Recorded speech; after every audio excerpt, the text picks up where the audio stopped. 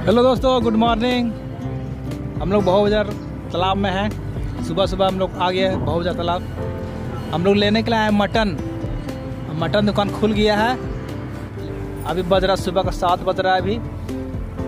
और वो लोग देख रहे हैं लोग, अभी जॉगिंग के लोग लाया है। उधर भी कोई है। और अभी पूजा का समय है, इसलिए यहाँ पर अभी कोई आदमी यहाँ पर नहीं दिख रहा है तालाब पास। पूजा खत्म हो जाएगा ना तो बहुत भीड़ यहाँ पर रहता है। जगह नहीं रहता है इतना भीड़ रहता है। और अभी मॉर्निंग समय सुबह सात बज रहा हवा बहुत बढ़िया चल रहा है पर। ये तालाब है बहु बाज़ार तालाब। अभी हम लोग जाएँगे दुकान जाएँगे मटन लेने के लिए जाएँगे हम लोग दुकान अभी। और मटन लेने के बाद फिर मुर्गा लेने जाएँगे। आज मुर्गा का कबाब बनेगा और मटन का मीट बनेगा आज। आज अभी बनाएँगे अभी। अभी लेने के लिए आए दुकान में। अभी दुकान अभी खुल गया है। एगो खसी कट गया है। ठीक है दोस्तों आज इतना ही।